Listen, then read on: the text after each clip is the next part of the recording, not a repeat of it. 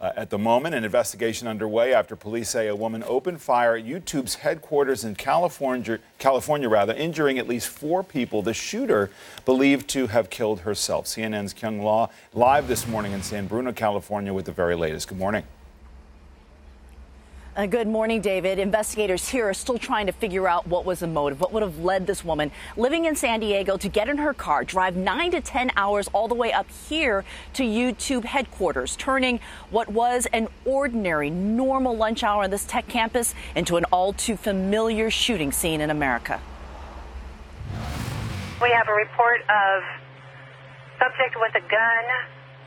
This will be from the U building. New details about the woman police say shot three people at YouTube's headquarters before taking her own life. She shot that person up really bad.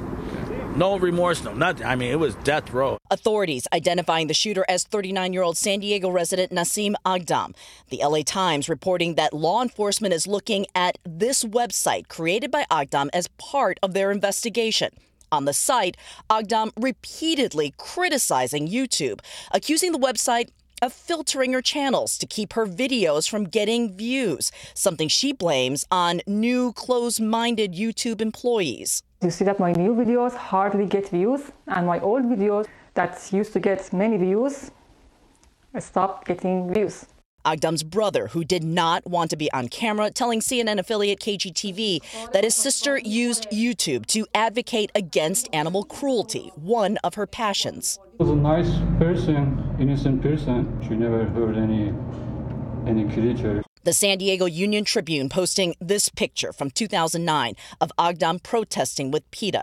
Aghdam's brother tells KGTV that his family reported her missing this weekend after she stopped answering her phone. They then located her car in a city near YouTube's headquarters. She had a problem with uh, YouTube, so we called that cop again and told him that she might there's a reason she went all the way from San Diego to that. Local police did not immediately respond to CNN's request for comment. Authorities say Aghdam opened fire on a group of YouTube employees that she did not know shortly before 1 p.m. Tuesday.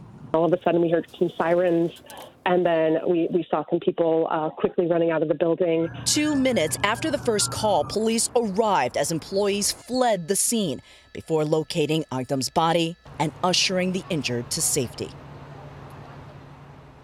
The YouTube and Instagram accounts, they are now down. There are three people who were taken to the hospital with gunshot wounds, varying from fair to critical condition. The Good News Hospital tells us they did not have to have surgery. A fourth person had an ankle injury. And Allison, we do have some conflicting information. Two law enforcement sources tell CNN that the shooter knew at least one of the victims, but police here say officially at this time there is no indication she knew anyone. Right. Allison? There are still so many questions, Kyung. Thank you very much for that reporting.